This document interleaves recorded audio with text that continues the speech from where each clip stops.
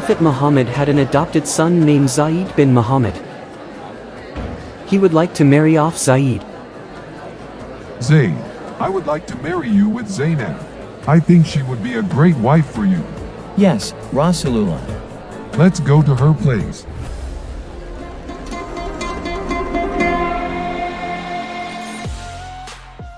Zainab, I want you to marry Zaid. What? He? He used to be your slave. I thought you want to propose me. No, no way. I don't want to marry him. He was a slave and I have a higher social status than him. You have to marry Zaid. Oh Rasulullah, do you really want to tell me what to do? If I already decide something for you, then, you, need to obey. Quran, Surah Al-Ahzab, verse 36 says, It is not for a believing man or a believing woman, when Allah and His Messenger have decided a matter, that they should have any choice about their affair. And whoever disobeys Allah and His Messenger has certainly strayed into clear error. Okay, I will marry Zaid.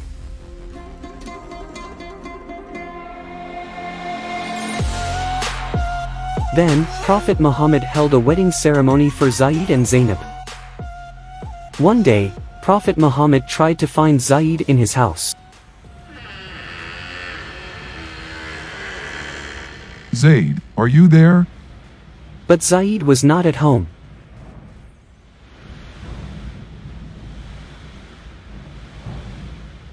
As the wind blew the curtain aside, Prophet Muhammad saw Zainab naked in her chamber.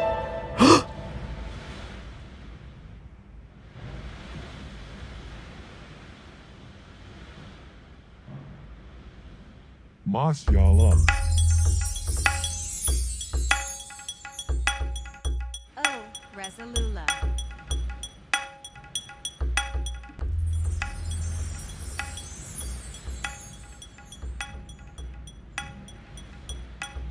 Zainab quickly put on her clothes, then she went out to meet Prophet Muhammad. Come in, O Prophet of God, for you are as my father and my mother to me. Bless him who changed one's heart.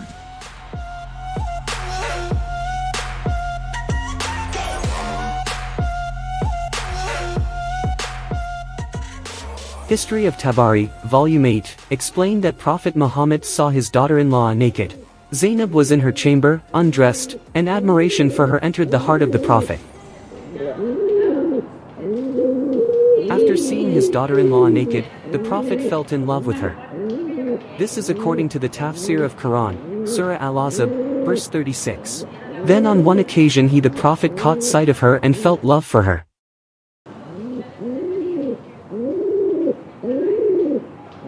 When Zaid came home, Zainab told him about Prophet Muhammad's visit. Your dad came here when you were out. He met me instead. Oh, and then, what happened? Nothing happened. After finding out you were not here, he left. Is that it? Oh, before he left, he said, Bless him who changed one's heart. What does it mean? I don't know. Having lived with Prophet Muhammad since childhood, Zaid certainly knew very well his father's character and personality.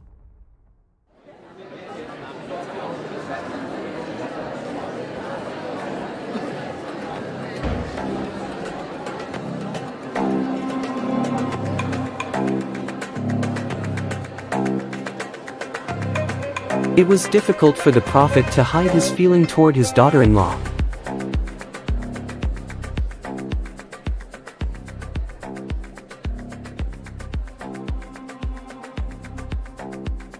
When Zaid found out about what was going on, he disliked how his adopted father felt about his wife. Look at them. I can tell there's something going on between them. It's obvious, isn't it? Tafsir al-Qurtubi, Al-Jami li-Ahkam, Volume 7, page 139. Quran, Surah Al-Ahzab, verse 37. Allah did the following to my husband, Zaid bin Muhammad. Zaid's penis started to swell so he can't make love with me. Zaid decided to meet his adopted father, Muhammad. Rasulullah, Perhaps Zainab has excited your admiration, so I will leave her. What is wrong? Has anything on her part disquieted you? No, by God, nothing she has done has disquieted me. Keep your wife to yourself. Don't separate from her. And fear Allah. But actually, Muhammad hid his desire toward Zainab. Oh, I can't forget how she looked in her room that day. I'm afraid people will start to notice this. Oh, wait, wait. Allah sent a message to me. Quran, Surah Al-Ahzab, verse 37. And, remember, O Muhammad, when you said to the one on whom Allah bestowed favor and you bestowed favor, keep your wife and fear Allah, while you concealed within yourself that which Allah is to disclose. No need for me to conceal my feeling, since Allah will disclose it anyway. Since then, Muhammad did not stop Zayd anymore.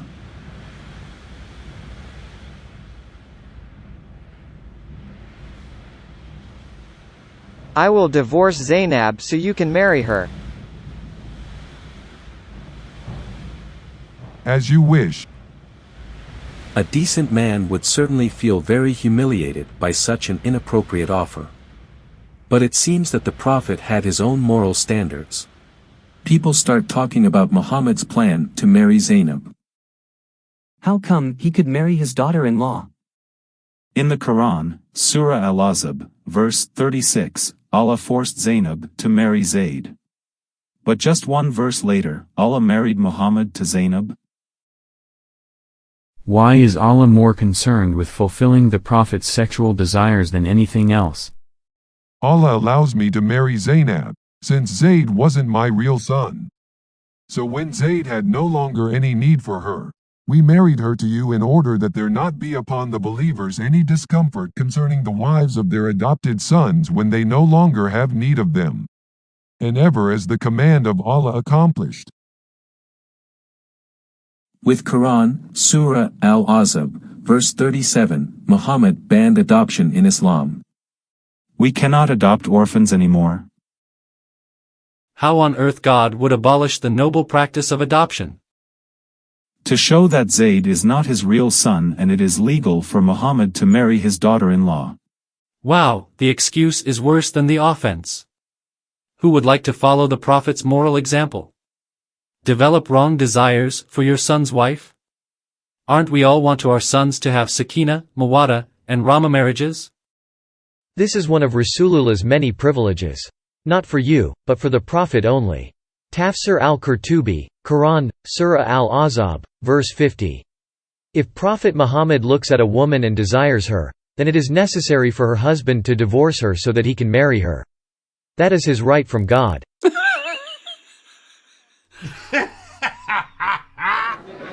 A marriage celebration was held for Muhammad and Zainab.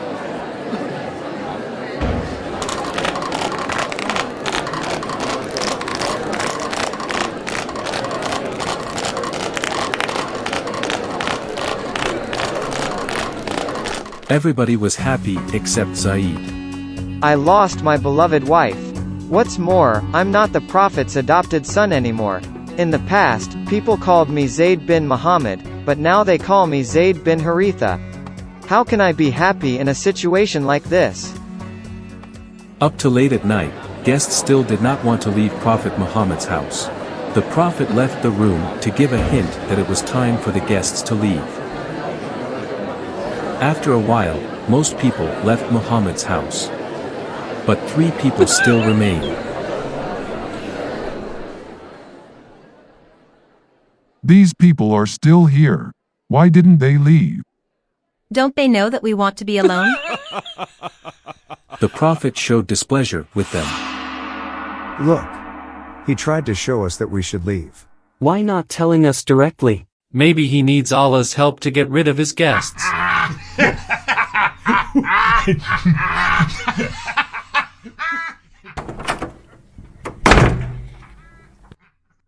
At last, what am I supposed to do? Ask them to leave? People just have no manner. Here is the verse to get rid of guests who stay for too long in your house. Quran, Surah Al-Ahzab, verse 53. O you who believe, do not enter the homes of the Prophet, unless you are given permission to come for a meal, and do not wait for its preparation. And when you are invited, go in, and when you have eaten, disperse, without lingering for conversation. This irritates the Prophet, and he shies away from you, but God does not shy away from the truth. Even after the wedding, people continued to talk negatively about Muhammad's marriage to Zainab. How could he have the heart to cancel Zaid's adoption? That's right. Doesn't he remember in the past when he swore in front of the Kaaba to take Zaid as his own son? In our culture, once we adopt someone as a child, then that person becomes a member of our family for life. For life. Muhammad felt the need to stop people talking about the disgrace he had done to Zaid. I have to do something. Zayd led the Muslim army to attack Basra, take over Byzantine power there. Be the flag bearer. Yes, Rasulullah. Zaid led 3,000 Muslim soldiers to Basra. The other two commanders of the Muslim army were Jafar bin Abi Talib and Abdullah bin Rawaha. Is your private part still swollen? Just shut up. Zaid led his army from Medina to Basra, which was located in the Sham or Syria region. The Byzantine force intercepted them at a village called Mu'tah.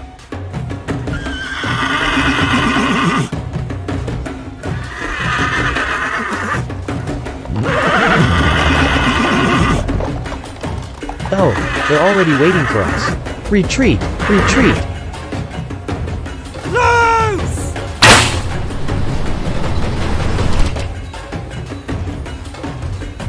The two Muslim commanders, Jafar bin Abi Talib and Abdullah bin Rawaha, died in the battle.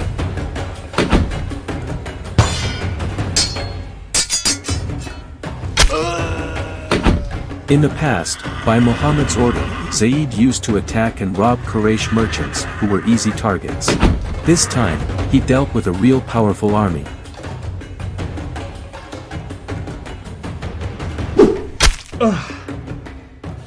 Zayd finally died. Conclusion In Quran Surah Al-Ahzab verse 36, Allah and Prophet Muhammad forced Zainab to marry Zaid.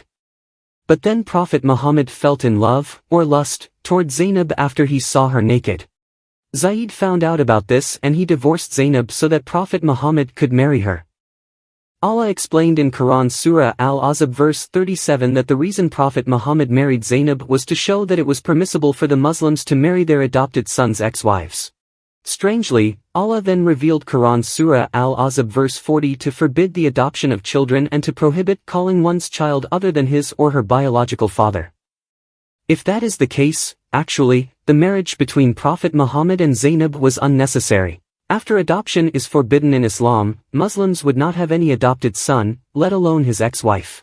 Why did Allah order Zainab to marry Zaid in Quran Surah Al-Ahzab verse 36 when he knew that in Quran Surah Al-Ahzab verse 37 Zainab had to marry Prophet Muhammad?